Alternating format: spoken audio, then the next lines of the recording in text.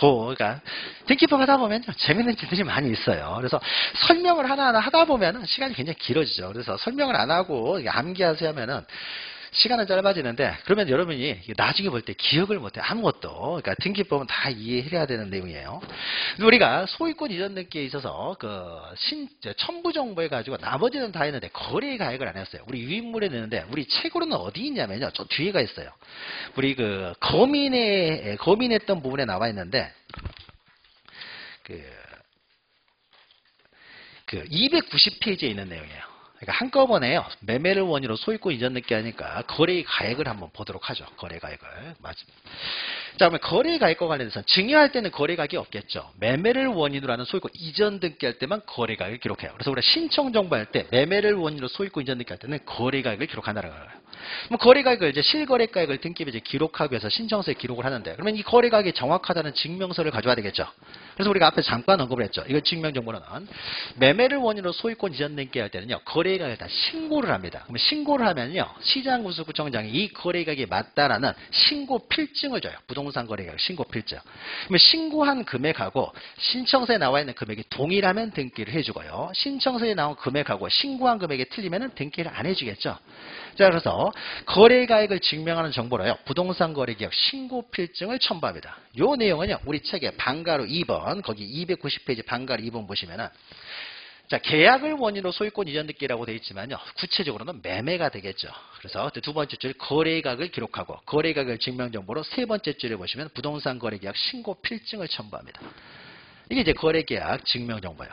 근데 이것만 아는 것이 아니라 그 밑으로 내려오면 방가로 4번 보시면요. 매매 목록이라는 게 있어요. 요거까지 이제 기억하셔야 되는데 만약에요. 갑과 을이라는 사람이요. 갑과 을이라는 사람이 X 물건을 10억 원으로 하나의 부동산을 이제 매매를 했습니다. 그러면은 X 부동산에 대한 소유권 이전 등기라겠죠. 갑에게서 을 앞으로 이전 등기를 할 때 여기다 10억 이렇게 적어요. 실거래가액을 지금 기록을 합니다. 실거래가액을. 그래서 신고를 하고 신고했던 것이 이제 정확하면 없습니까? 여기다 10억이라고 적는 거예요. 그러면 이러면 이제 간단한데 문제는 갑과 을이라는 사람이 X, Y 두 개의 부동산에 대해서 10억을 사고 팔았어요. 매매를 했다는 거죠. 그러면은 두 개의 부동산이 둘 다 매매를 원인으로 소유권 이전 등기할 때는 일괄 신청이 가능하잖아요. 그래서 두 부동산을 10억에 사고 팔아가지고 이제 등기를 합니다. 그러면은 X도 소유권 이전 등기를 해야 되지만 Y 부동산도 소유권 이전 등기를 하겠죠. Y 부동산도 가백에서 앞으로 소유권 이전 등기를 합니다. 그럼 여기다 거래가액을 적어야 될 텐데 여기도 10억 적고 여기도 10억 적을 수가 없잖아요. 합쳐서 10억이잖아요. 그러니까 여기다 넣습니까? 거래가액을 적을 수가 없는 거죠. 여기다는. 두 개 합쳐서 10억이니까. 따라서 이럴 때는요. 여기다가 등기부에다가 거래가액을 적지 않고요. 매매 목록이라는 걸 하나 작성을 해요. 또 하나 이제 서류를 하나 만든다는 거죠. 그래서 여기다 매매 목록 해가지고 여기다 적어요. X, Y 두 개 합쳐서 10억 이렇게 적어요. 그 다음에 여기 등기부에는 뭐라고 적냐면요. 이 매매 목록 번호만 적어요. 여기도 매매 목록 번호만 적고. 그래서 여기 우리가 물건을 샀는데요. 거래 가격이 없이 매매 목록 번호만 있으면 아 하나의 물건만 사고 판 게 아니었구나. 그래서 매매 목록을 이제 찾아가면 되는 거예요. 그러면 이 매매 목록에 기록되는 거래 가액은 원래 등기부에 기록해야 될 여기 나와 있는 소리죠. 그래서 이것을 이건 등기부라고 했을 때 이것을 등기부 부속소리라고 하는 거예요. 그래서 두 개가 합쳐서 한 세트의 등기 기록을 이루게 되는 거죠. 이 비싼 것이 우리가 앞에서 부동산 일부에 대한 용의권 설정할 때는요. 여기다가 어, 등기부였습니까? 그 도면을 그려 놓을 수가 없기 때문에 도면을 따로 만든다고 했죠. 그래서 두 가지가 한 세트 합쳐져서 등기부와 등기부 부속소리가 한 세트의 등기 기록을 이룬다고 했죠.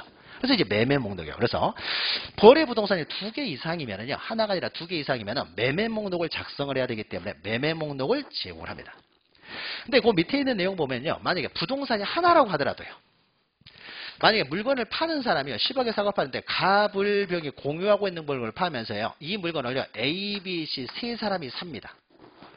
그러니까 매도인과 매수인이 여러 명이라는 거죠. 모두. 자 그러면 이때는요. 등기가 굉장히 복잡해져요. 만약에 이 부동산은요. 이 사람이 5분의 3, 5분의 1, 5분의 1을 소유하고 있었고요. 이 사람들이 지분은 어떻게 되냐. 3분의 1씩이라고 해보죠. 그러면 등기를 어떻게 하냐면요. 굉장히 복잡해져요.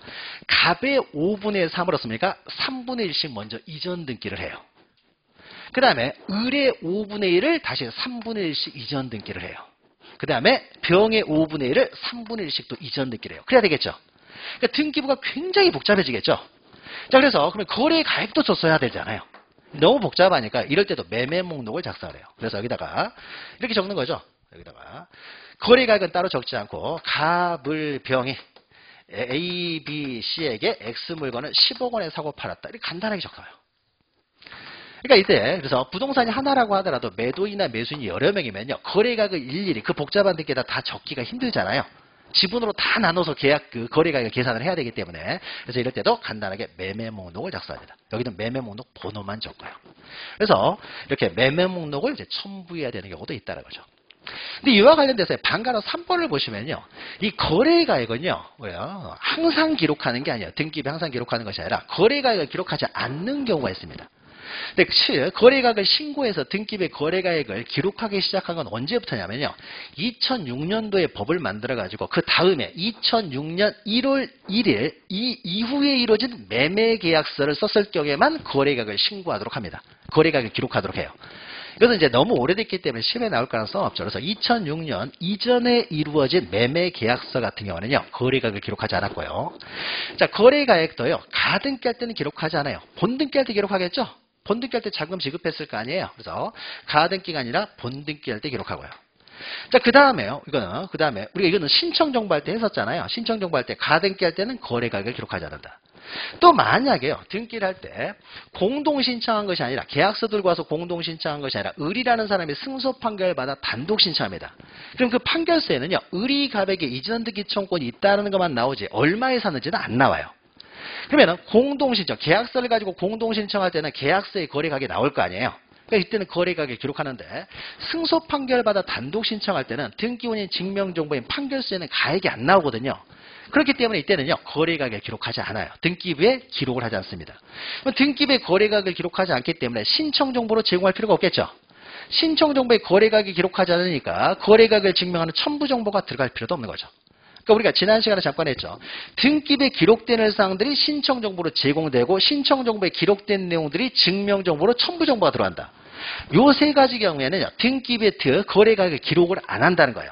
기록을 안 하니까 신청 정보로 제공할 필요도 없고 첨부 정보로 들어갈 필요도 없는 것이죠. 항상 세트로 움직인다 생각하시면 됩니다. 자 여기까지 하게 되면요. 여기까지 하게 되면 자 매매를 원인으로 하는 소유권 이전 등기에 있어서의 첨부 정보가 다 끝난 거예요. 그래서 우리가 첨부 정보는 신청 정보하고 연결시켜서 이해하시면 됩니다. 이래서 자, 근데 이제 첨부 정보라는 것은 어, 등기가 좀 복잡한 등기면 그만큼 첨부 정보가 더 많이 필요해지는 거죠. 복잡하면. 공법상 규제를 안 받고 했으면은 규제 통과했던 소리가 필요 없지만 공법상 규제를 받고 했으면은 규제 통과했던 소리도 가져가야 되고. 그러니까 등기가 복잡해지면 그만큼 첨부 소리도 늘어나는 거죠. 자, 그러면 다시 앞으로 와서요. 여기까지 하게 되면요. 이제 첨부 정보가 모두 끝난 거예요. 첨부 정보가. 그러면은 우리 책으로는요. 이제 258페이지로 갑니다. 이제 258페이지. 아, 258페이지가 아니라 죄송합니다. 어. 자, 246페이지로 갑니다. 246페이지. 자, 그러면 여기까지 하게 되면요. 신청 절차가 다 끝난 거예요. 그래서 우리가 매매를 원인으로 소유권 이전 등기를 한다라고 하면 어떻습니까? 두 사람이 공동으로 공동으로 할 때 빈손이 아니라 신청 정보와 첨부 정보를 가지고 방문 신청을 하든지 이제 전자 신청을 하겠죠. 그러면 이제 신청인이 할 수 있는 건 다 끝난 거잖아요. 방문 신청을 한다 그러면 이 서류들을 모두 갖다 내요. 갖다 내면 어떻습니까? 신청 절차가 모두 끝나는 거죠. 그래서 등기는 신청에서 이루어지는 것이 원칙이기 때문에요. 이제 크게 등기 절차는 신청 절차가 있고요. 신청이 다 끝나게 되면 이제 등기관이 등장해서요. 등기를 이제 실행하는 절차가 나옵니다. 그래서 신청 절차와 실행 절차로 구성됐다. 지금까지 신청 절차가 모두 끝난 것이고요. 246페이지 보시면요. 246페이지는 등기 신청의 접수 심사 나오는데 여기서 접수 뭐 신청해라 심사 심사를 고치고요. 여기서부터가 이제 실행 절차예요. 실행 절차. 그러면 등기 실행 절차와 관련돼서는요. 커다란 이제 흐름이 어떻게 되는지는요. 제가 그림으로 우리 5페이지 보시면은 등기 실행 절차에 대한 커다란 흐름이 그림으로 그려져 있습니다. 자, 그럼 먼저 보죠. 가백에서 의뢰계로요. 매매를 원인으로 소유권 이전 등기를 한다고 해보죠. 갑이 보존 등기 된 상태에서 자, 그러면 이때요. 갑과 을이 이제 공동으로 신청할 거 아니에요. 매도인과 매수인이 공동으로 신청했죠. 근데 신청 정보, 첨부 정보를 다 가지고 이제 방문 신청이나 전자 신청을 하게 되면요. 이들이 할 일은 끝나고요. 이제 등기관이 등장해가지고 등기를 이제 실행하는 절차가 시작됩니다. 뭐 등기 실행 절차는요. 먼저 우리가 신청을 하게 되면요. 무조건 의무적으로 먼저 접수를 합니다. 접수를. 이 접수는요, 어떻게 하냐면, 우리가 방문 신청을 하게 되면요, 우리가 등기소 가게 되면 1층에 전산 직원들이 있어요. 그 사람들이요, 컴퓨터에 다 입력을 합니다, 입력. 입력이 다 끝나면 어떻습니까? 입력이 다 끝나면 저장이 되는 거죠. 컴퓨터. 정산 정보 처리 조직 컴퓨터에 저장이 돼요. 저장이 되면 그때 접수된 걸로 봐요.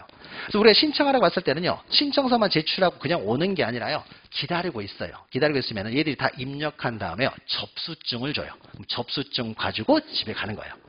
자 그러면은 이제 저장이 되면 그때 이제 접수된 걸로 봐요. 접수는 굉장히 중요한 거죠. 나중에 등기가 완료됐을 때 그 등기 효력은 이때부터 효력이 발생하니까.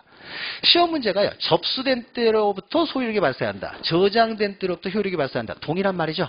저장이 되면 접수니까요. 자, 그러면 일단 저장은 이제 전산 직원들이 합니다. 접수해가지고 다 저장을, 이제 저장이 다 끝나면 접수가 되는 거죠. 그리고 난 다음에 이제 등기관이 심사를 해요. 심사를. 등기관이 서류 제대로 다 들어왔느냐. 이제 서류 심사만 해요. 그러니까 등기 기록하고 신청서하고 첨부 서류가 제대로 다 일치하고 있는지 서류만 심사를 해요. 그래서 이걸 형식적 심사라고 합니다. 그러니까 갑과 을이 매매를 원인으로 이전 등기를 신청할 때 매매가 유효냐 무효냐는 심사할 권한이 없어요. 매매가 유효냐 무효냐가 다투어지면요. 이건 법원 판사가 판단하는 것이지 등기관이 판사, 판사는 아니잖아요. 그러니까 서류 심사만 해요. 그래서 형식적 심사라고 합니다. 절차적 심사만 한다는 거죠. 등기법적인 내용만 심사하지 민법적인 내용은 심사를 못해요. 자, 그러면 심사를 하는 과정에서 빠진 내용이 있어요. 주민등록 등본을 안 가져왔어요. 그럼 주민등록 등본 없습니까? 바로 가서 띄울 수가 있잖아요. 그러니까 그 주민등록 등본 하나 안 가져왔다고 해서요. 바로 실행을 거부해버려서는 안 되는 거고요. 보정이 충분히 가능하잖아요. 그러면 보정을 명할 수가 있어요. 보완하여 정정하라. 그래서 보정을 명하면요. 적어도 다음 날까지는 보정을 해줘야 돼요. 그래서 다음 날까지 보정하면은 등기를 실행해주고 다음 날 기다려도 보정을 안 하면요. 바로 실행을 거부하는 각하를 해버립니다. 각하래요. 그래서 이제 심사하는 과정에서 보정이 필요하면은 보정을 명할 수도 있다는 거죠. 자 그러면은 만약에 이제 뭐 보정이 필요가 없었다든지 형집사를 통과했어요. 통과하면 그때 이제 실행을 해요. 실행이라는 것은 이제 등기비 이제 기록을 한다는 거 기록. 등기관 이제 본격적으로 이제 등기부에 기록을 해요. 이게 바로 실행입니다. 근데 실행하려고 했더니요. 이 사람이 심사를 하는데 형식 심사를 했더니 토지거래 허가서가 안 들어왔어요. 토지거래 허가를 하루 만에 받을 수는 없잖아요. 그렇습니까? 토지거래 허가서 안 들어왔기 때문에 토지거래 허가서 안 들어왔기 때문에 실행을 거부합니다. 이걸 각하라고 해요. 그러니까 보정할 수 없는 어떤 하자가 있다든지 또 보정을 명했는데도 다음 날까지도 보정을 하지 않아요. 그러면 실행을 해줄 수가 없기 때문에 실행을 거부합니다. 그러니까 절차를 위반하면 실행을 거부하게 되는데 이걸 각하라고 해요. 각하. 자 그런데 이 사람이 뭐 각 뭐 각하 사유가 없어요. 그러니까 아무런 하자가 없습니다. 하자가 없으면 어습니까? 이제 실행을 하게 되게 실행이 끝나게 되게 실행을 하게 되겠죠. 그래서 실행이 모두 끝나게 되면요 완료가 됩니다. 자 그러면은 등기부에 기록한 다음에 언제 완료가 되냐면요 등기관마다요 앞에 컴퓨터가 있겠죠 A 등기관, B 등기관, C 등기관 이게 컴퓨터가 있겠죠 그러면 공무원들 앞에 있는 컴퓨터들은요 식별 번호들이 있어요 그러니까 내장되어 있습니다. 식별 번호들이 굉장히 복잡하게 되죠. 공무원이 컴퓨터 공무원들이었습니다. 전국의 공무원들이 몇백만 명 되잖아요. 그 앞에 있는 컴퓨터들은요. 다 보안이 걸려 있어요. 얘가 비밀번호를 치고 사용할 수 있어요. A라는 사람이 자기 컴퓨터는 여기 들어가서 었습니까? 일 처리 못하는 거죠. 다 보안이 걸려 있어요. 회사도 마찬가지죠. 자기 컴퓨터만 사용해야 되잖아요. 여기에 식별 번호들이 내장이 돼 있어요. 그래서 만약에 A라는 사람이요. 등기 다 이제 심사 다 끝난 다음에 기록 다 한 다음에요. 완료 버튼을 딱 클릭을 하게 되면은요. 자기 이 컴퓨터에 내장되는 식별 번호가 딱 부여가 돼요. 그러면 어떻습니까? 이 등기를 누가 했는지 알 수 있게 되겠죠. 그래 나중에 어습니까? 문제가 생겼을 때 책임 여부를 가릴 수가 있는 거죠. 그러니까 만약에 부정한 등기를 하려면 자기 컴퓨터에서는 절대 안 되겠죠. 뭐 다른 사람 컴퓨터에서 해버리면요. 이 사람이 책임 문제가 생기는 거예요. 근데 이 사람이 했기 때문에 어습니까? 이 사람이 잘못은 없어요. 그렇다고 하더라도 다른 사람이 언제든지 사용할 수 있도록 비밀번호 안 걸어놨다는 거죠. 이 사람은 잘못이잖아요. 얘도 징계를 먹겠죠. 그래서 가끔씩 공무원들은 보안 점검 같은 걸 해요. 점심 시간이었습니까? 안 끄고 가면은요. 그러면 이제 징계 먹을 수 있어요. 그러니까는 항상 이렇게 보안 이런 거 철저히 해야 되는 거죠. 그래서 누가 이 등기를 했는지 식별 번호가 이제 부여가 되면요. 그때 비로소 완료가 돼요. 그래서 만약에 이 사람이 완료 버튼을 클릭을 했다고 하더라도요. 전산 오류 때문에 식별 보호가 기록이 안 돼 버렸어요. 그러면 아직 완료는 안 된 거예요. 그래서 누가 등기를 했는지 알 수 있는 조치까지 다 추구마요. 기록이 되면 그때 비로소 완료가 돼요. 자 그러면 다만요 완료되기 전에는요 전에는 신청했던 사람이 자기의 신청을 철회할 수가 있습니다 그냥 없는 걸로 해주세요 할 수 있는 거죠 철회하는 거 이걸 철회 취하라고 합니다 취하 그러니까 신청한 다음에 아직 완료되기 전에는요. 아, 죄송합니다. 완료하기 전 이거죠. 완료가 되면 습니까 효력은 접수시로 소급해서 효력이 발생한다는 거죠.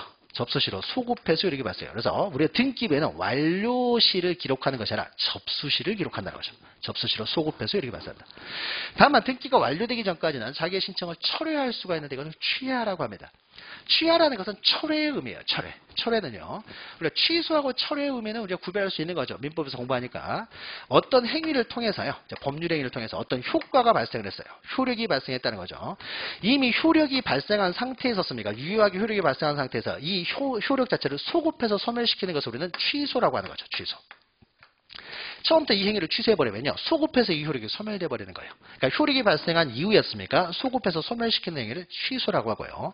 철회라고 하는 것은 아직 효력이 발생하기 전에요. 효력 발생을 저지시키는 것을 우리는 철회라고 하는 거예요. 철회. 그러니까 의사표시가 없습니까? 상대방이 도달하기 전에는요. 우리 법에서는 취소라고 표현하고 있지만 이건 철회죠. 철회. 의사표시가 상대방이 도달하기 전에는 효력이 발생이 전이잖아요. 그러니까 효력 발생을 저지시키는 것을 철회. 이미 효력이 발생한 것을 소급해서 소멸시키는 것은 취소라고 하는 거죠. 그럼 공법상 행위들은요. 엄격한 의미의 여러분 민법에서 공부는 취소라는 게 인정이 안 돼요. 일단 효력이 발생해 버리면요. 여러분 뭐 의사 표시에서 나오죠. 비진입 표시, 사기 강박 이런 것 어떻습니까? 공법상에게는 적용이 없다는 거죠. 그러니까 취소라는 건 인정이 안 되고요. 다만 아직 효력이 발생하기 전이잖아요. 전에 철회하는 것은 가능해요. 그럼 우리가 신청을 해서 효력이 발생하는 것은 등기가 완료돼야 효력이 발생하는 거죠. 그러니까 완료되기 전이었습니까? 효력 발생을 제지시키는 철회, 즉 취하가 가능해요. 그러니까 취하는 습니까 완료되어 효력이 발생하기 전에만 취하가 가능하지. 이미 완료돼서 효력이 발생해 버렸어요. 그러면은 철회를 할 수가 없는 것이죠. 자 그러면은 이 사람이요 취하도 하지 않고요. 그 다음에 각하도 되지 않았어요. 그럼 등기가 이제 완료가 됐어요. 그럼 완료가 되면은요 이렇게 되겠죠. 갑이 소유자인 상태에서 등기가 완료됐다는 것은 을 앞으로 이제 드디어 소유권 이전 등기가 되었다는 거죠. 신청할 때는 갑이 소유자인 상태에서 완료가 되면 을 앞으로 이전 등기가 되죠. 그러면 이제 완료가 되면 벌써 끝나는 것이 아니라 완료 후에 절차가 또 나와요. 우리가 지적법 할 때도요. 지적 공부에 지적 정리가 되면 끝나, 거기서 끝나는 것이 아니라 등기부의 일치를 위해서 등기 촉탁을 하고 또 이런 지적 정리 결과를 토지 소유자 등에게 통지까지 해야 모든 절차가 끝나는 거죠. 여기 마찬가지로 완료 후의 절차가 또 나와요. 그럼 완료의 절차로서요. 가백에서 을 앞으로 이전 등기가 됐어요. 자, 그러면 을이 새로운 권리자가 됐죠? 을. 그럼 어떤 을한테 뭐 줘야 돼요? 권리증 줘야 될 거 아니에요, 권리증.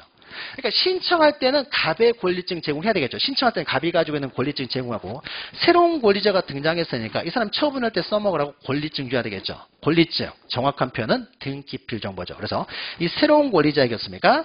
등기필 정보를 작성해서 통지줍니다. 권리증을 주는 거죠. 그리고 우리가 등기하게 되면 어떻습니까? 권리증 받잖아요. 권리증. 자, 그 다음에 권리증은 이제 새로운 권리자한테 주는 것이고요. 뭐 갑과 을이 어떻습니까? 이제 만약에 공동으로 신청했어요. 신청했을 경우에는 신청했던 사람들에게 당신들이 신청한 대로 등기가 완료됐다는 사실을 통지를 해줘요.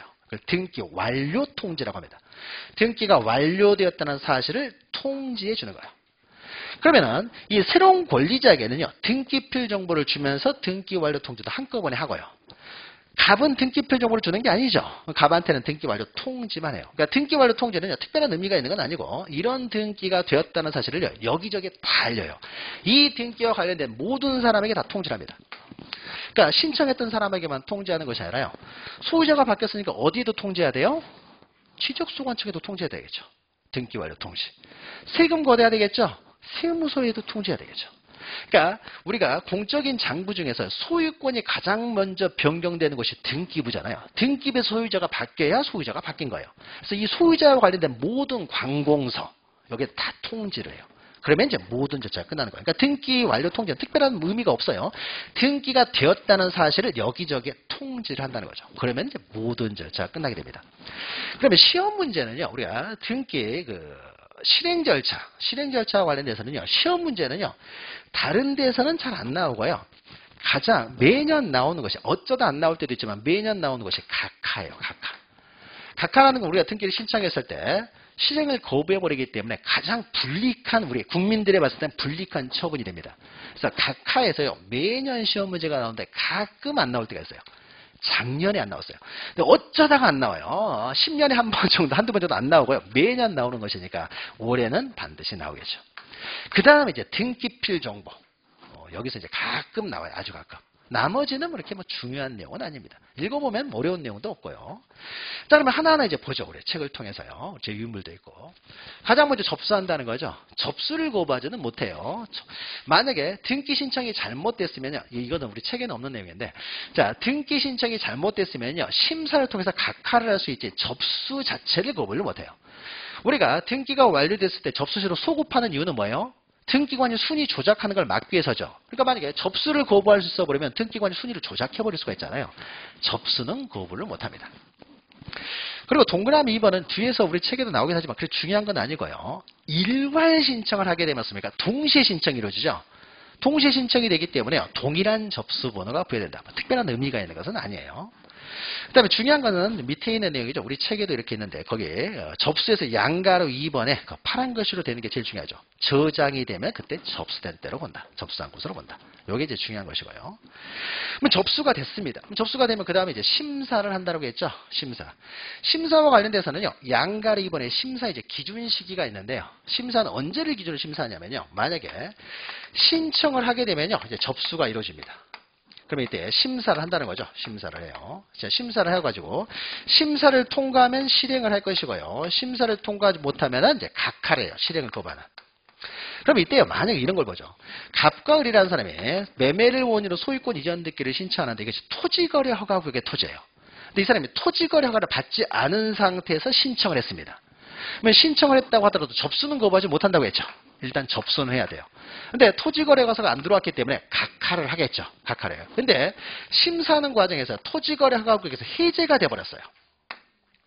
자 그러면은 실행을 해야 되겠습니까? 각하를 해야 되겠습니까? 해제가 됐으니까 없습니까? 굳이 각하를 할 필요가 없잖아요. 자, 그러면 우리가 신청시나 접수시를 기준으로 하게 되면 토지거래허가가 안 들어왔으니까 당연히 각하를 해야 되겠죠. 근데 요때 실행시를 기준으로 하게 되면 어습니까? 해제가 됐으니까 실행을 해야 되겠죠. 그럼 우리가 실행시를 기준으로 해야 되겠어요? 신청이나 접수시를 기준으로 해야 되겠어요? 실행시죠, 실행시. 그래서 그 이후에 심사하는 과정에서 생긴 모든 사유를 다 반영해가지고 심사를 한다는 거죠. 그러니까 토지거래하고에서 해제되면은 실행을 해야 되겠죠. 어차피 없으면 각하하면 또 신청하러 올 거 아니에요. 그때는 어차피 실행을 해줘야 되니까. 자, 그래서 등기부에 기록하는 실행시를 기준으로 심사하지 신청시나 접수시를 기준으로 심사하는 게 아니고요. 그리고 심사할 때는 우리가 앞에서 했죠. 형식적으로만 심사한다. 오른쪽 여러분 양가로 3번에 있죠. 그래서 형식적 심사라는 것은요. 등기 기록, 신청 정보, 첨부 정보 세 가지를 놓고 서류 심사만 해요. 서류가 일치하고 일치하지 않는지만 심사하는 거죠. 불일치하면 각하, 일치하면 등기. 그러니까 실질적인 심사 권한은 없어요. 서류 심사만 한다는 거죠. 그 다음에 그 밑에 보시면 이제 취하가 나오죠. 취하. 그래서 신청한 이후에도 등기가 완료되기 전까지요. 등기가 완료되기 전이죠. 등기를 완료되기 전 우리 법에서는요. 등기를 마치기 전 이렇게 표현되어 있어요. 등기를 마친다는 것이 바로 등기 완료를 말하는 거죠. 그래서 완료되기 전, 마치기 전까지만 등기할 수 있어요. 그러니까 우리 의 보시면 완료되기 전 해가지고 있고 맨 밑에 반가로서 하면 시기는 뭐라고 됐습니까? 마치기 전 이렇게 돼 있죠. 우리 책에는 똑같은 말이에요. 똑같은 마치기 전, 완료하기 전. 마친다는 게 완료를 의미하기 때문에. 자, 요거 관련해서요. 밑에 보시면요. 그러면 대리인도 신청을 할 수 있고요. 대리인도 취하를 할 수도 있어요. 근데 다만 신청을 대리 그 신청에 대한 대리권을 부여받은 사람이요. 그러니까 법무사한테 신청을 맡겨서요. 이 사람이 신청을 했습니다. 이 사람이 신청 대리권이 있어가지고 신청을 했어요. 대리권을 가지고 신청을 했습니다. 그러면 신청이 된 상태에서요. 이 사람이 대리인이요. 마음대로 또 취하도 할 수 있느냐? 신청의 대리권 안에 취하의 대리권도 당연히 포함되느냐? 그건 아닙니다. 신청 대리권을 가지고 신청하게 되면요. 이 사람이 이제 목적을 달성했으니까 대리권은 소멸하는 거예요. 따라서 나중에 취하를 하려면 어떻습니까? 본인들로부터 취하에 대한 대리권을 다시 부여받아야 되겠죠. 취하에 대한 특별수권을 받아야만 등기를 취하할 수 있는 거죠. 그래서 민법에서 어떻습니까? 계약 체결의 대리권을 가진 사람이 계약에 해제의 대리권까지 포함되는 건 아니죠. 체결하면 그걸로 끝나는 거예요. 해제하려면 해제에 대한 대리권을 따로 또 수여받아야 되는 거죠. 그러니까 똑같다고 보시면 됩니다. 그래서 어, 특별수권이 필요해요. 그럼 이때 만약 공동으로 신청했을 때는 취하도 공동으로 해야 돼요. 그래서 만약에 대리인이 쌍방을 대리해서 만약에 신청을 했을 때는 취하에 대한 대리권을 수여받아서 취하를 할 때도 쌍방으로부터 취하에 대한 대리권을 수여받아야만이 취하를 할 수가 있겠죠. 상식적인 내용인 거죠. 자, 이 정도 보시면 되고요. 자, 넘기시면 취하에도 가끔 시험 문제가 나오기도 하는데요. 자, 요것은 요 넘기시면 방법하고 그 일부 취하였죠. 동그라미 2번에. 그거 기억하시면 돼요. 자, 갑과 을이라는 사람이요. 매매를 원인으로 소유권 이전득기 할 때 X, Y, Z 세 개의 부동산을 매매를 원인으로 소유권 이전득기를 합니다. 그러면 세 가지를 일괄 신청이 가능하겠죠. 일괄 신청을 했어요. 일괄 신청한 상태에서요. 일괄 하나의 신청서로 일괄 신청한 상태에서 이 하나의 부동산만 따로 취하는 게 가능하냐라는 거예요. 따로따로 신청했을 때는 따로따로 취하는 게 당연히 가능하겠지만 일괄 신청을 했을 경우에 이때도 그러면 하나만 신청하는 것이 가능하냐 철회하는 게 가능하냐 이것도 가능하다라는 거예요. 보통 우리가 일부만 이런 건 잘 안 되는 게 일반적인데요. 일부만 이건 서로 다른 부동산이니까 그래서 일부만 취하는 것도 가능합니다. 그거 일부 취하 기억하시면 돼요. 일부만 취하는 것도 가능하다. 그리고 바로 위에 표가 있는데 이제 취하는 방법입니다. 취하 방법은요. 취하는 신청인이 취하를 하는 거죠. 그래서 신청 방법과 동일 이렇게만 기억하시면 돼요. 그래서 만약에 직접 방문해서 만약에 신청했을 때는요. 직접 방문해서 취하를 해야 돼요. 전자 신청했을 때는요. 전자적인 방법으로 인터넷을 통해서만 취하할 수 있어요. 그러니까 전자 신청을 했을 때는요. 전자 신청하고 나서 방문해 가지고 취하할 수는 없고요. 전자 신청했을 때는 다시 로그인하고 들어가서요. 취하 버튼에 클릭을 하는 거예요. 다시 로그인하고 들어가야 되는 거죠. 사용자 인증을 받아서. 그러니까 신청 방법과 동일한 방법으로. 그러니까 방문해서 서면으로 신청을 했을 때는 취하도 서면으로 취하를 해야 되고 전자적으로 신청했을 때는 전자적으로 취하를 해야 된다. 신청 방법과 동일하다 기억하시면 돼요. 나머지는 넘어가시고요. 그 다음에 이제 보정이죠. 보정. 자, 이거는 심사와 관련된 내용이죠. 그래서 심사하는 과정에서요. 빠진 내용이 있으면은 등기관은요. 보정을 명할 수가 있고요. 보정과 관련돼서는요. 기간에서 맨 밑에 보정을 명한 날에 다음 날까지만 보정하면 돼요. 당일날 보정하라고 하면 보정을 못할 수도 있잖아요. 동사무소 문 닫아버릴 수도 있으니까. 그래서 다음 날까지만 보정하면 됩니다. 그래서 다음 날까지 보정을 하면 실행을 하고요. 다음 날까지도 보정하지 않으면 어쩔 수 없죠. 거부할 수밖에 없는 거죠. 자, 오른쪽에는 이제 보정하는 방법이에요. 어, 보정도 어떻습니까? 신청한 사람이 와가지고 보정을 해야 되겠죠. 이것도 신청 방법과 동일하게 요 그러니까 만약에 방문 신청을 했을 때는요, 직접 방문해가지고 보정을 해야 돼요. 근데 전자 신청을 했을 때 어떻습니까? 인터넷 들어가서 다시 전자 문서로 해가지고 보정을 해야 되겠죠. 신청 방법과 동일한 방법으로 해야 됩니다. 그래서 그러니까 전자 신청에 만약에 하자가 있었으면요, 전자 뭐 그러니까 전자지금 방법으로 보정을 해야 되는 거예요. 근데 다만 이제 뭐 보정하는 방법인데요. 거기 여러분 그러니까 표는 이거죠. 그러니까 아, 보정하는 방법 우리 책에는 없네요. 책에는 없고. 그러니까 보정하는 방법도요. 우리 위인물에 있는데 신청 방법과 동일하다고 생각하시면 되고요. 우리 책에 있는 그 방가로 3번의 표는요. 이제 보정을 통제하는 방법이에요. 등기소에서. 통제하는 방법은요. 어, 제한이 없다고 생각하시면 돼요. 그래서 현장에서요. 딱 소리를 받자마자 어 이거 없네요. 그럴 수 있죠. 지금 딱 그 소리를 받는데 그 전산 직원되었으면 아 주민등록 등본이 안 들어왔는데요. 바로 할 수 있잖아요. 후드로 보정할 수 있어요. 보, 정을 명할 수 있어요. 전화로 딱 가버렸으면요. 전화로 이렇게 아 서류가 하나 안 들어왔는데요. 전화로도 할 수 있고 현장에서 구두로도 할 수 있고 서면으로 할 수 있고 팩스로도 할 수 있고 다양한 방법을 할 수 있어요. 그래서 자 동그라미 그러니까 전자신청 밑에 보죠. 전자신청. 전자신청 같은 경우에 구두로도 전화로도 모사전송이라고 하는 것은요. 팩스를 말해요. 팩스를. 예전에는 모사전송 그러면 전보를 말했는데 제가 어렸을 때만 해도요 전보를 쳤어요 전보 이렇게 전보 이런 게 있었는데 지금은 전보라는 개념이 사라졌죠 전화도 있고 팩스도 있기 때문에 모사전송은 이제 팩스를 말합니다 근데 앞에 전자우편에도 동그라미 치고요 그러니까 전자 신청을 했을 때는요 전자 신청서에 그 이메일 주소도 적습니다 그러니까 그다 이제 전자우편으로도 가능해요 그러니까 특별한 제한은 없다. 아무렇게만 가능하다. 이전에요. 전자 신청의 경우에는 전자적으로만 가능하다. 전자적으로만 가능하다. 전자 우편으로만 가능하다. 해서 틀린 적이 있어요. 그러니까 전자 우편으로도 가능하다는 거죠. 근데 방문 신청은요. 두 번째 줄 그 전자 우편은 지워버리세요. 방문 신청은 전자 우편은 없고요.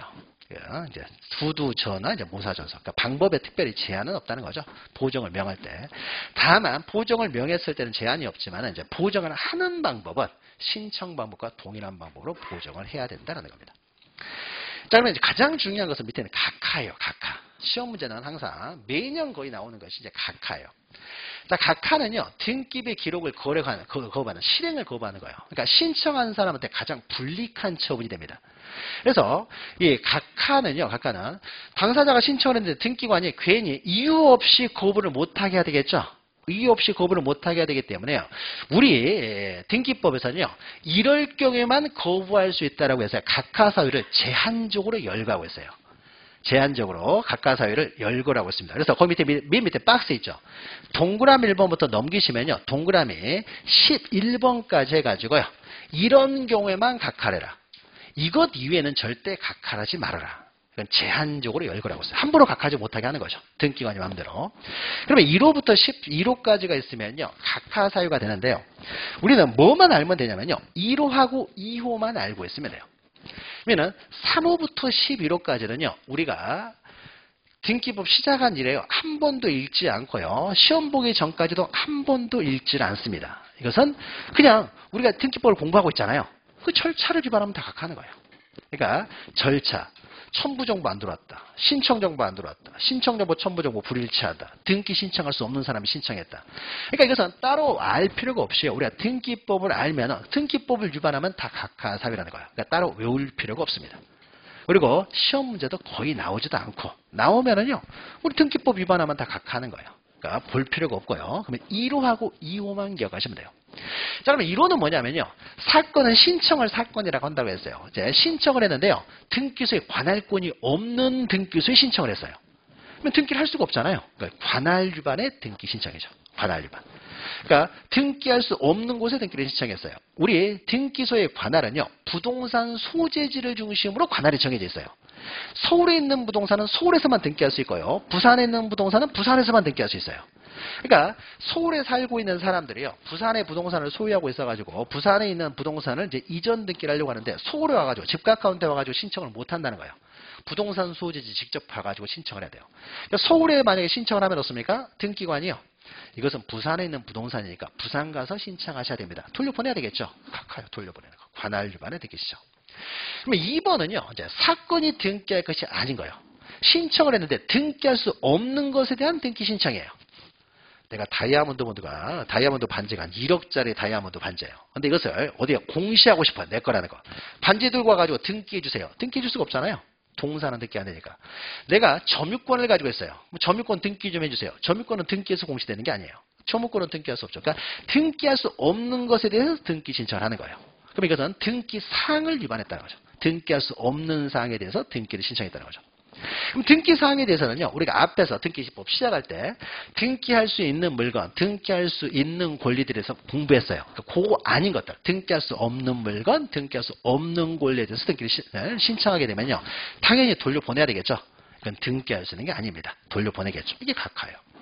그럼 시험 문제는 어디서 나오냐면요, 관할 위반은 뭐 굉장히 간단하기 때문에요, 2호에서 시험 문제 나와요. 사건이 등기할 것이 아닌 것. 그럼 어떤 건 등기할 수 있고 어떤 건 등기할 수 없느냐? 등기 사항을 위반하는 것인데요. 등기 사항은요. 우리가 동사는 등기할 수 없고 점유권이나 유치권은 등기할 수 없다. 이거 어디 나와요? 민법에서 나오잖아요. 민법에서. 우리가 등기법 시작할 때 했죠. 우리 등기법은요. 민법에서 규정하고 있는 등기사항의 절차를 규정하는 것이 등기법이라고 했죠. 그러면 어떤 건 등기할 수 있고 어떤 건 등기할 수 없는 거는요. 민법에서 규정해 놓고 있어요. 그러니까 민법을 위반했다는 거죠.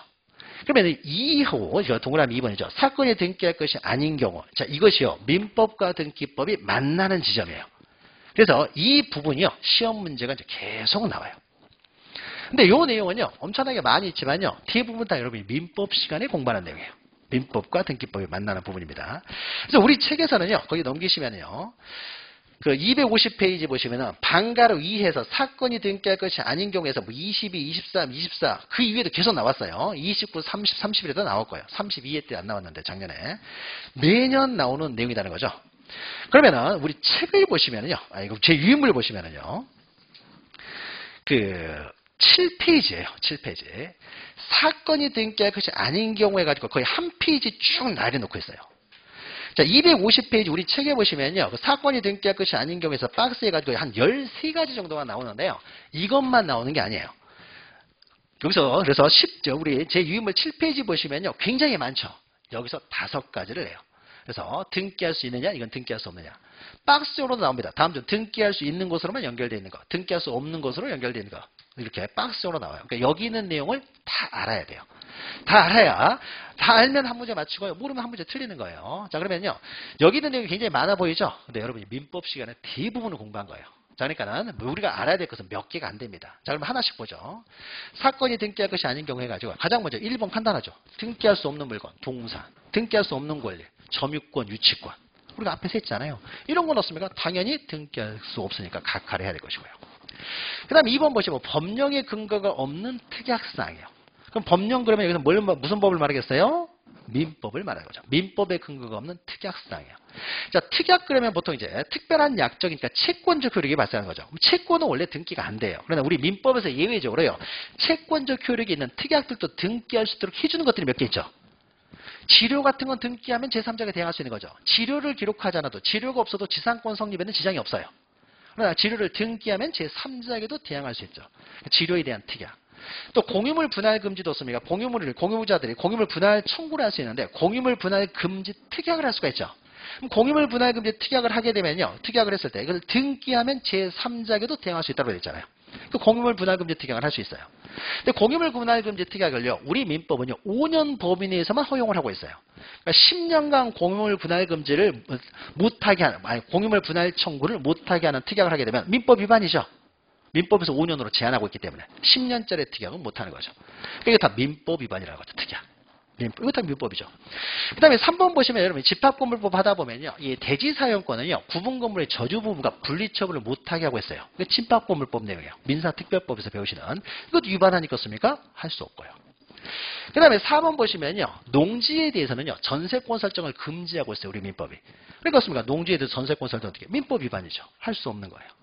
농지는 전세권만 금지됩니다. 저당권, 지상권은 가능해요. 저, 전세권만 우리 민법이 금지하니까 전세권만 안 되는 거예요. 그다음에 5번요. 우리 민법이었습니까? 저당권을 피담보 채권과 분리시킬 수 없는 거죠. 채권의 부정성, 수반성 때문이었습니까? 채권과 분리하여 저당권만 처분이 안 돼요. 이것도 민법 위반이죠. 그러니까 채권과 분리하여 저당권의 이전 등기를 신청하면 당연히 안 되겠죠. 1번부터 5번까지 넣었습니까? 민법 시간 하는 거잖아요. 전혀 외울 필요가 없죠. 민법 그대로예요. 자, 그 다음에 이제 보죠.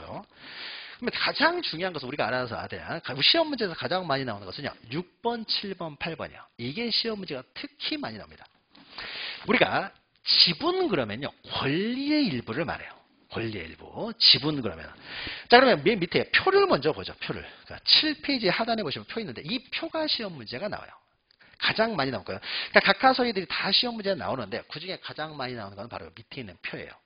자, 그러면 왼쪽에 보죠. 부동산의 특정 일부라고 돼 있어요. 그럼 우리가 부동산 그러면 토지나 건물을 말하잖아요. 토지의 일부, 건물의 일부, 부동산 일부죠. 토지나 건물의 일부요. 토지의 일부를 소유권이라 할수 있습니까? 없습니까? 못하죠. 부동산의 일부는 오로지 뭐만 가능하냐? 용의권만 가능해요. 부동산의 일부는 소유권을 이전할 수가 없어요. 소유권 등기가 안 되죠. 소유권 등기가 안 되니까 소유권을 이전하지 못해요. 그러면 한 필지일부만 매매를 원인으로 이전 등기가 안 돼요. 매매가 안 된다는 것은요. 경매가 안 되는 거죠. 일부만 경매도 안 되는 거잖아요. 경매가 안 되기 때문에 저당권 설정도 안 되는 거죠. 저당권은 경매하는 권리인데 일부에 대해서는 경매가 안 되기 때문에 저당권도 안 되는 거예요. 그래서 이건 여러분이 민법 시간 하는 거잖아요. 부동산 일부에 대해서는 오로지 용의권만 가능하다. 그래서 우리가 앞에서 잠깐 언급했죠. 부동산 일부에 대한 용의권을 설정할 때는 도면을 들고 간다. 그 가능하다는 걸 전제하는 거죠. 이건 뭐 굉장히 간단해요. 자, 근데 특히 이제 오른쪽이 중요합니다. 권리의 일부요. 그럼 권리니까 우리는 소유권의 일부, 저당권의 일부, 전세권의 일부. 권리 대신에 이제 권리를 집어넣으면 되겠죠. 소유권의 일부, 저당권의 일부, 전세권의 일부. 이렇게 되겠죠. 그럼 권리의 일부를 뭐라고 합니까? 우리가 지분이라고 하는 거죠. 지분. 그러니까 만약에 갑을 병이요. 세 사람이었습니까? 세 사람이 갑이라는 사람이 3분의 1, 을이라는 사람이 3분의 1, 병이라는 사람이 3분의 1을 소유하고 있어요. 공유를 하고 있습니다. 그럼 갑이라고 하는 사람은요. 전체 부동산에 대해서 소유권을 3분의 1 가지고 있는 거죠. 그러니까 부동산 일부를 소유하는 게 아니에요. 전체 부동산을 소유하는데 그 소유권을 3분의 1을 가지고 있어요.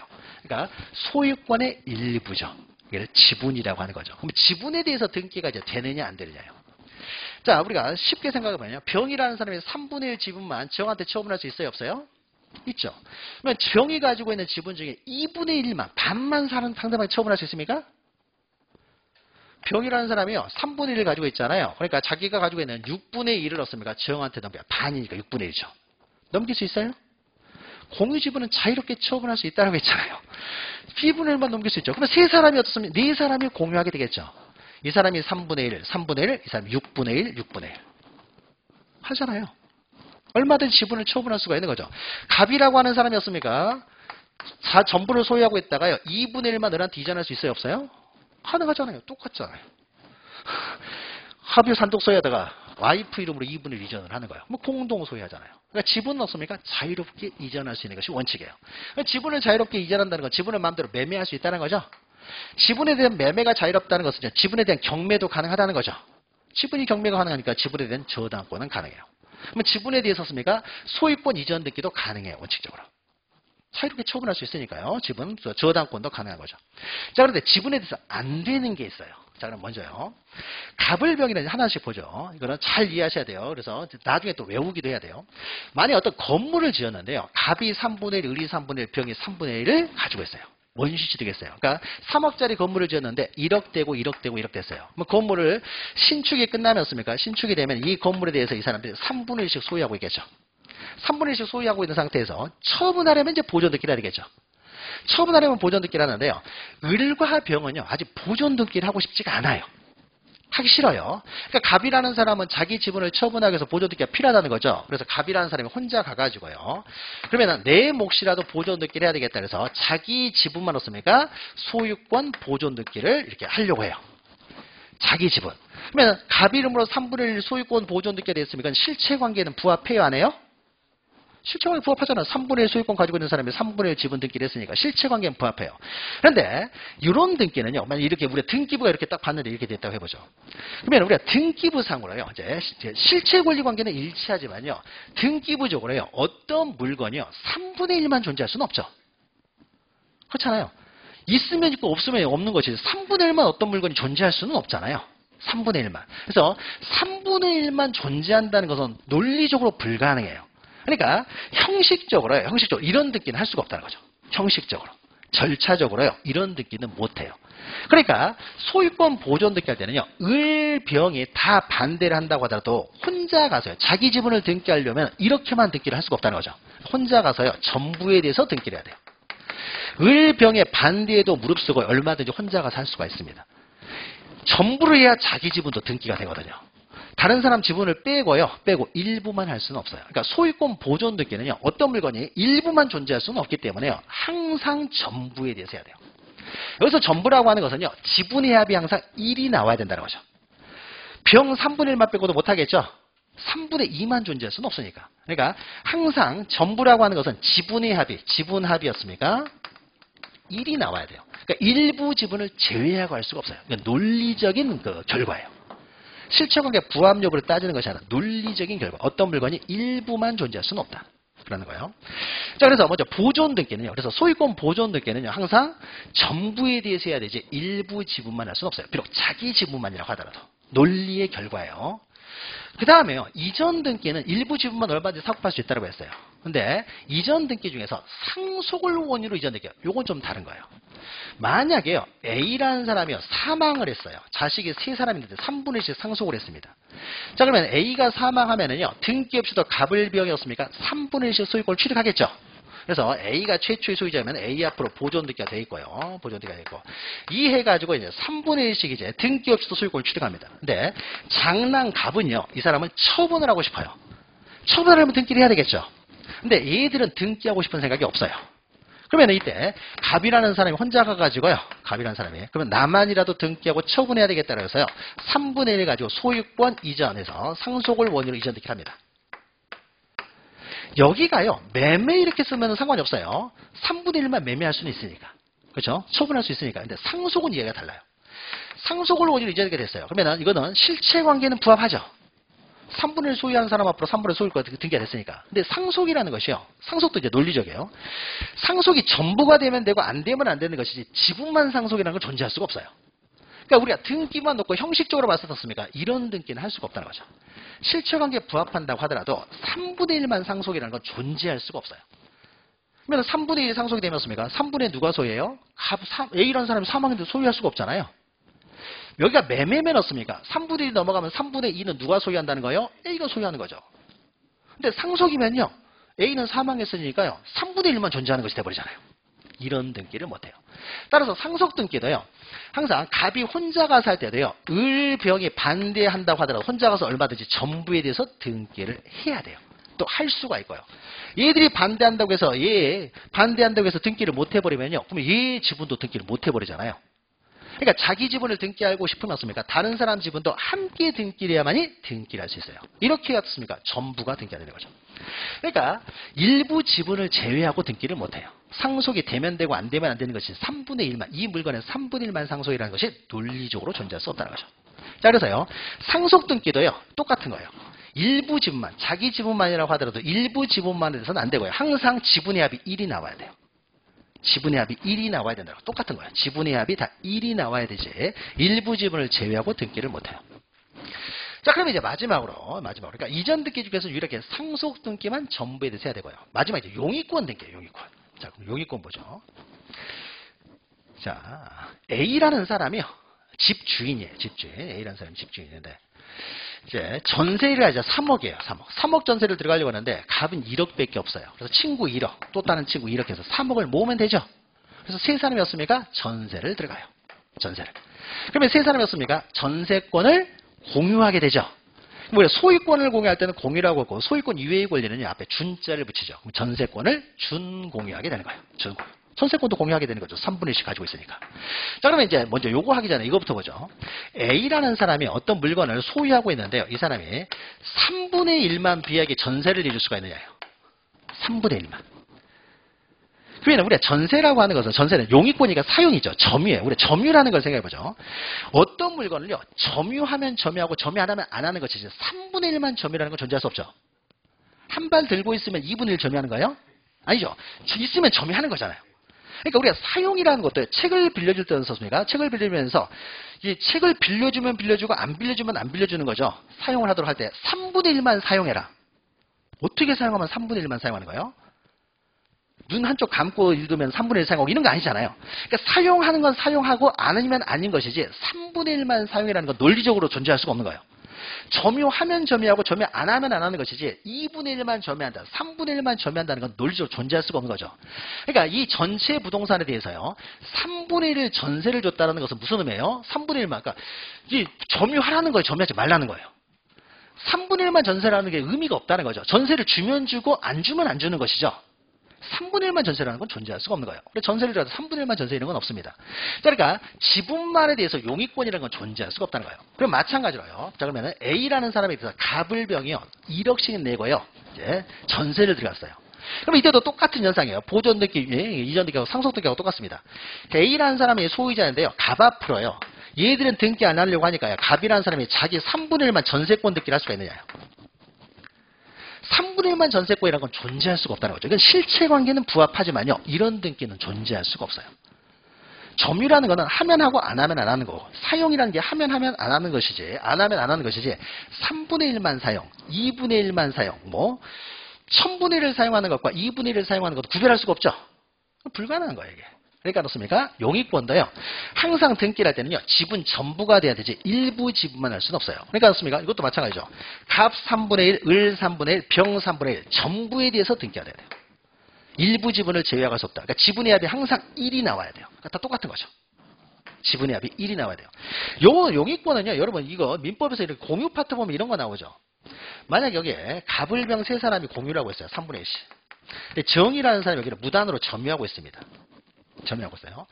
만약 지분이 많이 보죠. 그러니까 이 사람이 5분의 3이고 이 사람이 5분의 1, 5분의 1이라고 해보죠. 5분의 1이에요. 자, 점유하고 있으니까요. 병도 자기의 5분의 1의 소유권이 침해받고 있는 거죠. 그렇죠. 그러면 병이라는 사람이 나가라고 해야 될 거 아니에요. 물권적 청구를 하는 거죠. 방해제거를 하면서 반환을 청구하는 거죠. 나가라 이거죠. 나가라. 그러면 이때 5분의 1, 지분에 대해서만 나가라고 하겠습니까? 전부에 대해서 나가라고 해야 되겠습니까? 5분의 1만 나가라고 하면 안 나가도 되네요. 5분의 1만 나가라고 했으니까 안 나가 5분의 4는 안 나가도. 그럼 안 나가도 되잖아요. 그러면 만약에 이 사람이 과반수 지분권자예요. 그럼 과반수 지분권자가 나가라고 해요. 그럼 5분의 3만 나가라고 해야 돼요? 전부에 대해서 나가라고 해야 돼요? 전부. 5분의 3만 나가라 그러면 어떻습니까? 5분의 2는 안 나가도 되네요. 안 나가도 되네요. 그러니까 이 사람을 전부 내보내려면 어떻습니까? 점유라는 것이요. 일부 5분의 2만 점유한다. 5분의 1만 점유한다. 이런 게 없는 거죠. 하면 하고 안 하면 안 하는 거예요. 그러니까 각 공유자들 어떻습니까? 항상 다 전부에 대해서만 나가라고 해야 나가는 것이지 자기 지분만 나가라고 하면요. 안 나가도 상관이 없는 거예요. 이런 거 나오잖아요. 그러니까 우리가 공유자들이었습니까? 누가 불법행위를 했을 때, 이 사람 불법행위를 했을 때였습니까? 이 사람 손해배상을 청구할 수 있는 거죠. 부당이득 반환을 청구해요. 그러면 이것이 천만 원의 손해가 발생했을 때였습니까? 천만 원은 3대 1대1로 나눌 수가 있죠. 그렇습니까? 이때는 자기 지분만 청구하는 거예요. 지분으로 나눌 수 있으니까. 다른 사람 지분은 다른 사람이 알아서 판단할 문제죠. 그러니까 이 사람은 어떻습니까? 600만 원, 이 사람 600만 원만 청구할 수 있는 거예요. 나눌 수가 있으니까. 그러니까 나눌 수 있는 것들 어떻습니까? 자기 지분만 청구하는 거예요. 근데 반환이나 방해제거 청구라고 하는 것은요. 점유의 문제이기 때문에요. 지분에 대해서 청구한다는 게 존재할 수가 없는 거예요. 논리적으로 존재가 안 되잖아요. 그러니까 항상 전부에 대해서 생산할 수밖에 없는 거예요.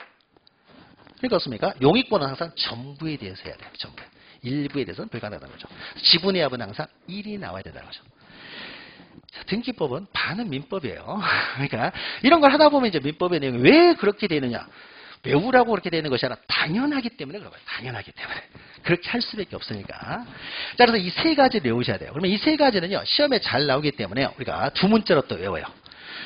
보상, 이게 이해를 했으면요, 외워야 돼요. 보상용 해가지고, 보존, 상속, 용익권 듣기. 보상용, 보존, 상속, 용익권. 이 세 가지는 지분만에 대해서는 안 되고, 항상 전부에 대해서 해야 된다. 그럼 더 나아가서 우리가 여기까지 기억하셔야 돼요. 보상용은 항상 전부에 대해서 해야 된다. 이거는 일부 지분만은 논리적으로 불가능하기 때문에 어쩔 수 없이 전부에 대해서 해야 돼요. 그러면 그 이외의 등기요. 이 보상용을 제외한 그 이외의 등기는 무슨 말이에요 그러면은? 이 그 이외의 등기는요 지분이 가능하다라는 거잖아요. 세 가지는 지분이 안 되니까 전부에 대해서 해야 되고 나머지는 지분이 가능하다는 거예요. 그럼 지분이 가능하면 어떻습니까? 그때는 자기 지분만 해야 되는 거죠.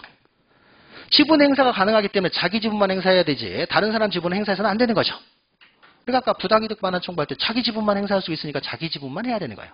그래서 만약에 그 이외의 등기에서는 전부를 할 수 있다라고 하면 무조건 틀린 말이 되는 거예요. 지분이 가능하면 자기 지분만.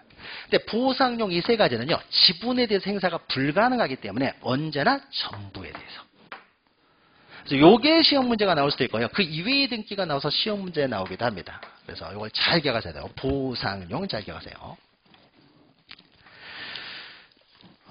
그 다음에요. 하나가 그 다음에 요거까지 잘 기억하세요. 그 다음에 또 나머지 내용을 봐야 되겠죠. 그래서 우리가 앞에 보시면요. 여기 있죠. 일부 지분에 대한 소유권 보존 등기 안 된다는 거죠. 지분만 해서. 지분만에 대해서 상속 등기 안 돼요. 항상 전부에 대해서만 해요. 전원에 대해서. 그 다음에 지분만에 대한 용익권 등기가 안 된다. 그럼 나머지는 다 지분에 대해서만 가능하고 세 가지는 지분만 해서 안 된다. 그럼 나머지를 또 보죠. 그 밑에는요. 이 세 가지가 중요하고 나머지는 뭐 간단합니다. 자, 9번 보시면 관공서다 법원에 촉탁으로만 실행될 수 있는 등기가 있어요. 대표적인 것이 처분 제한 등기로서 가압류, 가처분 등기 이런 거예요.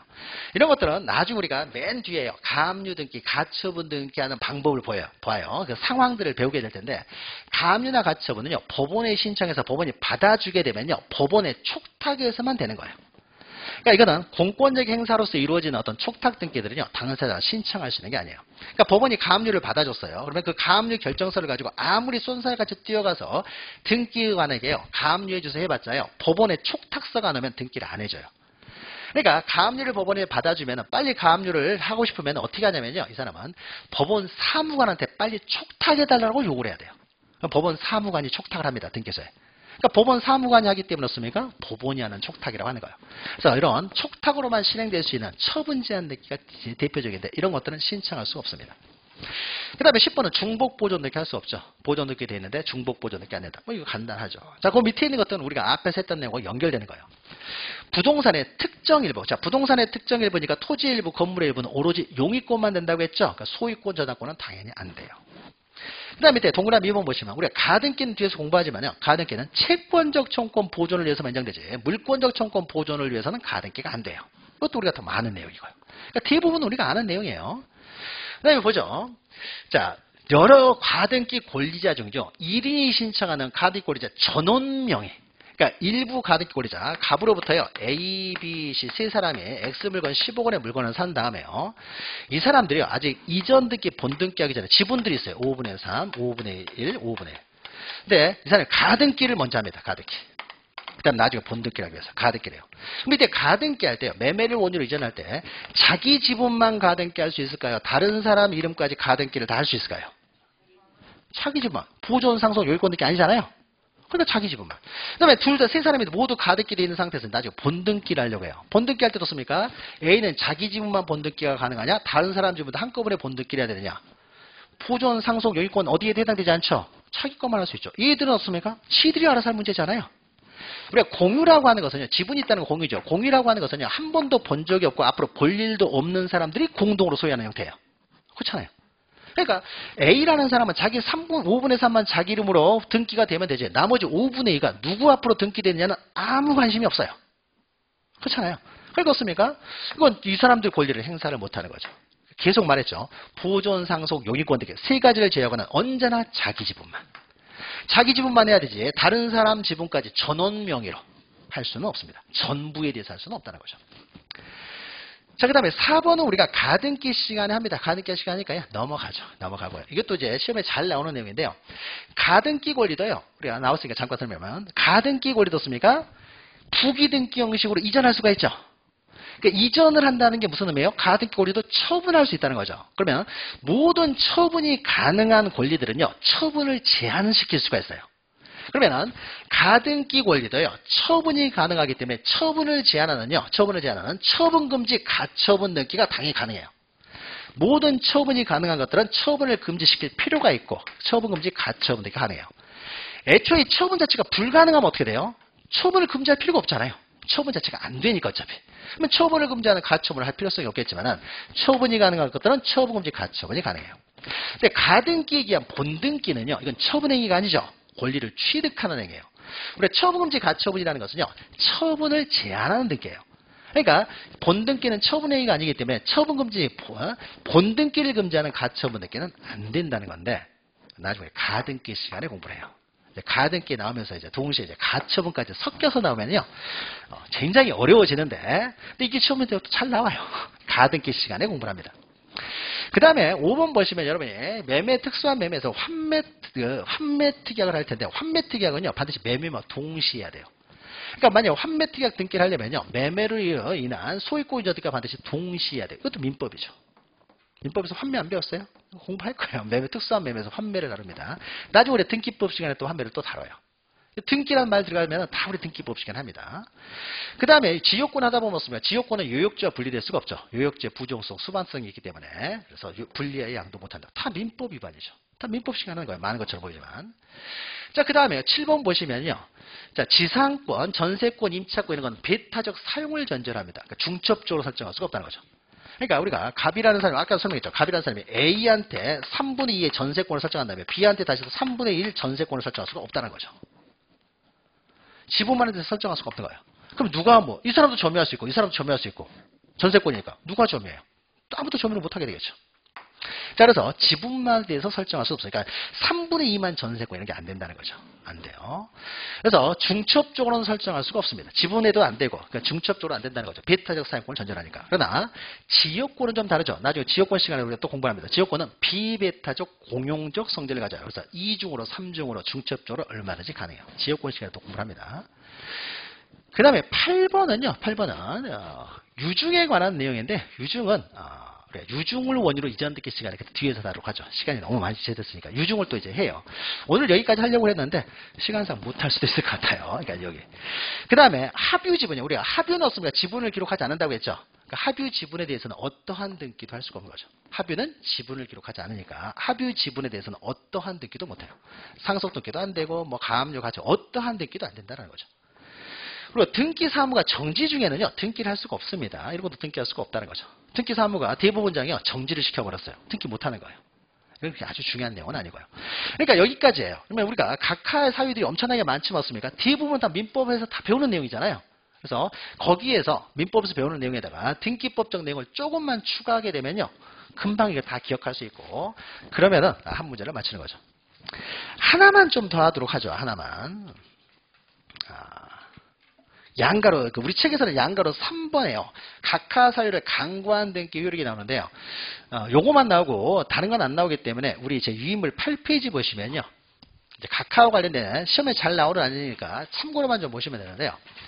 자, 각하를 할 때는요. 이제 등기관이 어떤 사유가 있어서 각하를 합니다. 그러면 각하를 할 때는 어떻습니까? 그냥 각하해서는 안 돼요. 왜 각하는지 이유를 설명해 줘야 되겠죠? 그래야 이제 신청한 사람이 뭘 알아가지고 단념을 하든지 그걸 보충해가지고 등기 신청하든지 할 거 아니에요. 그래서 항상 분리한 처분이기 때문에 항상 이유를 기재해서 각하를 하라는 거예요. 이유를 기재해서 각하를 합니다. 그래서 각하를 할 때는요, 그 밑에 있는 것은 각하는요 등기관이 하는 거죠. 그래서 방문 신청을 하든 전자 신청을 하든 다 이유를 기재해서 서면으로 보내도록 하고 있어요. 서면으로. 서면으로 봐야 왜 각하되는지 정확히 우리가 이해할 수 있다는 것이죠. 그래서 서면으로 보내도록 하고 있어요. 그러니까 각하하는 방법은요. 방문 신청이나 이제 전자 신청이나 동일한 방법을 한다. 등기관이 다 이유를 기재해서 합니다. 근데 각하 결정이 이제 불복이에요. 우리 책에는 없지만 간단하게 보면은요. 우리가 앞에서 잠깐 했던 내용인데요. 자, 갑과 을이라는 사람이 등기 신청을 했어요. 법본에 명령에 한 등기 시간을 잠깐 했던 것인데 등기관에게요. 등기를 신청을 했는데요. 이 사람이 각하를 했어요. 근데 각하를 할 때는 이유를 기재해야 된다는 거죠. 근데 이유를 기재해서 각하를 해야 되는데 이유도 기재하지 않고 아무 이유도 없이 각하를 해버린 거예요. 또 이유를 기재하긴 했는데요. 각하사유에 해당되지 않은데도 불구하고 각하를 한 거예요. 그럼 당연히 예를 들었습니까? 이의를 제기해야 되겠죠? 그러면 등기관이었기 때문에 등기관의 상급기관, 법원에 이의를 제기한다고 그랬죠. 법원에 이의 신청합니다. 법원에 이의 신청한다고 그랬죠. 법원에. 그럼 법원에 이의 신청을 해가지고 법원에 섰습니까? 법원에서 보니까 정말 이유 없이 각하를 했더라는 거죠. 그래서 이의 신청에 대해서 법원에서 심사를 했더니 정말로 이유 없이 각하를 했다고 그러셨습니까? 자기의 상급기관으로 등기관에서 상급기관으로서 법원이었습니까? 야 등기해줘라고 명령을 내린다고 했죠. 심사를 통해서 명령. 등기해줘라고 명령을 내리었습니까? 그때는 어쩔 수 없이 등기를 해야 되는 거죠. 이 등기를 우리는 법원의 명령에 한 등기라고 했죠. 거기에 이제 이의신청이라는 말이 나오고요. 그러니까 여기에요. 자, 각하와 관련돼서 각하 결정에 대한 불복을 얻습니까? 각하가 만약 이유 없이 각하가 되면요. 갑을 얻습니까? 이의신청을 할 수 있어요. 그럼 이의신청은 어디다 하느냐? 아, 지방법원에 이의신청을 하는데요. 여기서 중요한 것은요. 각하가 됐다는 건 등기가 아예 안 됐다는 거죠. 그러면은 우리가 보통 이해관계는 제3자 그러면요. 등기가 됨으로써 손해보는 사람을 이해관계라고 하는 거예요. 제3자. 근데 각하를 했다는 건 등기가 안 됐다는 거죠. 등기가 안 됐으니까 이 등기와 관련된 이해관계는 제3자는 존재하지 않죠. 그러니까 제3자는 이의신청을 못해요. 신청인들만 이의신청을 할 수가 있는 거죠. 내가 신청했는데 었습니까? 각하를 했으니까 신청인들이 불이익을 받은 것이지 다른 제3자는 불이익이 없죠. 그대로잖아요. 아무것도 안 해버렸으니까. 그래서 특히 이제 이의신청과 관련돼서요. 각하를 해서는 안 되는데 각하를 했어요. 해서는 안 되는데 각하를 했을 때는요. 이때는 그 신청에만 이의신청을 할 수 있지 제3자 이런 사람들은 이의신청을 할 수가 없다. 정도만 좀 기억하시면 돼요. 등기가 안 돼버렸으니까. 근데 이제 우리 책에 있는 것이고요. 그 다음에 좀 중요한 것은요. 이제 4번에 있는 내용이요. 이제 반대예요. 방금 했던 거 반대. 요건 좀 기억하셔야 되는데. 이제 처음 했던 것은요. 각하를 해서는 안 되는데 각하를 했어요. 아무런 등기를 안 해버렸다는 거죠. 그러면 신청인이 이제 이의 신청을 하게 되는데요. 반대로요, 반대로. 반대로. 각하를 해야 되는데 등기를 해버렸어요. 반대가 되겠죠? 그러니까 각하를 해야 되는데 등기를 해버린 거예요. 등기를 했어요. 그럼 이건 잘못된 등기죠. 그럼 거기에 대해서 이제 각, 이때 그 등기가 유효냐, 무효냐가 문제가 됩니다. 네, 등기를 했을 때. 자, 그래서 자, 각하를 해야 되는데도 불구하고 이를 간 거고 등기를 해버렸을 때, 이제 처음에 도 봤던 거예요. 각하란 라 경우에 등기를 해버렸을 때 이 등기가 유효냐, 무효냐요. 우리가 등기의 효력 같은 잠깐 설명드렸는데요. 자, 우리 밑에 있는 표가 있으니까요. 우리가 각하 사유가 1호부터 11호까지 있다고 했어요. 그래서 특히 1 위험만 기억하시라고 했는데 만약 3호 위반이라고 해보죠. 3호 위반. 3호 위반은 등기 이제 절차를 위반했다는 거예요. 그러면 우리가 등기법 시간에 계속 했던 거죠. 이 등기 절차는 그 절차 자체가 목적이 아니라 등기가 실체관계에 부합시키기 위한 수단으로서 절차라고 했죠. 근데 그 수단, 절차가 좀 잘못되긴 했는데요. 실체관계에 부합을 해버려요. 그러면 목적을 달성했던 거죠. 그러니까 굳이 이것을 무효로 할 필요는 없는 거죠. 그래서 등기는 유효하다는 거예요. 등기는 유효해요. 그러니까 우리가 절차를 지금 배우고 있지만은 일반적인 절차를 위반했다고 하더라도요. 실체관계에 부합을 해요. 실체관계에 부합하면 어습니까 그때는 등기를 굳이 무효로 할 필요는 없는 거죠. 중간생략 등기, 실제와 다른 등기 원인한 등기, 실체관계 부합하면 다 유효로 해버리죠. 유효로 해버리잖아요. 그러니까 실체관계 부합하면요. 다 유효다라는 거예요. 근데 1호하고 2호는 달라요. 그러니까 1호, 2호를 기억하시면 돼요. 만약에 우리가 예, 많이 했던 내용인데요. 우리가 갑이라는 사람이 소유자고 여기 소유자고요. 어떤 건물이 있는데요. 을이라는 사람이 공사비를 못 받아가지고 못 받아가지고 을이라는 사람이 여기 이 건물을 유치권을 행사하고 있어요. 유치권. 유치권 행사하고 있어요. 그래서 유치권 행사하는데 계속 유치권을 점유하고 있으니까 힘드니까요. 등기가 돼 있으면 굳이 점유하지 않아도 되겠다 해가지고요. 이 사람이 가가지고 유치권 등기를 해달라고 합니다. 우리 앞으로 유치권 등기해주세요라고 해요. 그러면 등기관은 각하해야 돼요? 등기 실행해야 돼요? 각하해죠. 유치권 등기를 못하니까. 근데 등기관이 모르고 유치권 등기를 해버린 거예요. 그러면 이건 뭐예요? 실체관계 부합하죠. 실체관계 부합해도 이건 등기할 수 없는 걸 등기했잖아요. 그러니까 이것은 당연무효예요. 그리고 등기할 수 없는 사람, 즉 관할 위반의 등기도 마찬가지예요. 등기할 수 없는 사람이 등기를 했어요. 그럼 실체관계 부합한다고 하더라도 갑과 을이 매매를 한 것도 맞고요. 이전 등기 의사도 마- 있어요. 근데 X부동산은 부산에 있는 부동산인데 서울에서 등기를 신청하면 각하를 했어야 되는데 등기를 해버렸다는 거죠. 그러니까 어차피 부산 가서 등기하면 어차피 등기가 될 거예요. 실체관계는 부합하죠. 실체관계 부합해도요. 등기할 수 없는 사람이 등기했다는 거죠. 그래서 이 두 가지요. 등기할 수 없는 사람이 등기한 경우 또 하나는 등기할 수 없는 걸 등기했을 때 두 가지는요. 실체관계 부합해도 이것은 당연무효예요. 당연무효. 부합해도 무효라는 거죠. 그럼 만약에요. 만약에 등기관 이 등기를 했던 사람이요. P라는 등기관이 이 등기를 한 다음에 이 사람 퇴직을 했어요. 새로운 등기관이 Q라는 사람이 새로 왔어요. 그래서 혹시 등기부를 한번 쭉 한번 봅니다. 쭉 넘겨보는데요. 뭐 요런 등기가 있어요. 유치권자가 됐다는 거죠. 그럼 Q라는 사람이요. 이거 바로 말소해버릴 수 있을까요? 해도 상관이 없잖아요. 애초에 할 수가 없는 등기잖아요. 누가 보더라도 그건 잘못된 거잖아요. 뭐 이런 등기가 다 있어? 그냥 말소해버리면 돼요. 실체관계 부합해도 어차피 이건 무효니까. 무효니까. 그래서 습니까 직권으로 말소해버릴 수가 있어요. 근데 등기관 자기 발견을 못해가지고 모르고 있어요. 그러면은 이건 등기가 돼버렸잖아요. 됐으니까 그 등기가 됨으로써 손해보는 사람이 생길 수도 있겠죠. 그런 이해관계 제3자 뒀습니까? 말소해달라고 이의신청을 할 수가 있습니다. 그러면 이제 이의신청을 받아가지고 바로 직권으로 말소해버리면 돼요. 그럼 직권으로 이의신청만 하면 바로 말소할 수가 있기 때문에요. 이걸 따로 말소 청구 소송을 제기할 수는 없어요. 우리가 소송을 제기한다는 건요. 다툼의 여지가 있을 때 이길 수도 있고 질 수도 있을 때 이때 소송으로 가는 거예요. 근데 만약에 유치권 말소등기 청구 소송을 제기하면요. 법원이 딱 보더니 어 유치권 말소등기 청구 소송 이러면요. 그 신청했던 사람한테 아 이것은요. 등기소 가서 그냥 말소해달라고 하면 바로 말소해 드립니다. 하면 되는 거잖아요. 소송을 할 필요가 없잖아요. 등기소로 그냥 돌려보내면 되는 거예요. 그러면 등기소 직권으로 말소해 주니까. 소송의 여지가 없잖아요. 그러니까 소송으로 제기할 수는 없는 거예요. 등기소 가서 해달라고 하면 됩니다. 그럼 밑에는 상대적으로요. 자, 실체관계 부합하면 유효가 될 수도 있는 등기예요. 근데 등기관의 실체관계 심사권한은 없죠. 그렇습니까? 등기관이요. 실체관계 부합 여부를요. 부합하면 유효가 될 수 있는 등기를요. 등기관이 자기가 잘못했다고 해서 직권으로 말소할 수가 없다는 거예요. 유효일 수도 있는 등기를 말소할 수 없죠. 그러니까 등기관 직권으로 말소할 수 없는 등기이기 때문에요. 등기가 됨으로써 손해보는 사람이라고 하더라습니까? 직권으로 말소해달라고 이의신청을 할 수가 없습니다. 그러면 실체관계 부합 여부는 누구만 판단할 수 있어요? 법원에서만. 그러니까 법원에 소송으로서 해결할 수밖에 없습니다. 정반대가 되는 거죠. 어. 그래서 1호, 2호하고요. 나머지만 좀 기억하시면 됩니다. 그러니까 이런 것들이 이제 응용돼가지고 나올 수 있기 때문에 좀 기억하시면 돼요. 자, 여기까지 하고요. 그 다음에 여러분 그 넘기시면 이시 뭐야? 253페이지 이의 신청이 있는데 이것은요. 그냥 넘어가도록 하죠. 제 책에는요. 이 시- 우리 책에서는 굉장히 복잡하게 되어 있는데 이 중요한 내용은 아니에요. 그래서 제 책의 그 10페이지예요. 중요 내용 몇 가지만 적어놨는데 우리가 이의 신청은요. 요 정도만 기억하셔도 충분한데 이것도 나중에 할게요. 지금 중요한 내용도 아니기 때문에. 자, 그럼 잠시 쉬었다가요. 나머지 내용 보도록 하죠. 참 많이 하네요. 오늘도.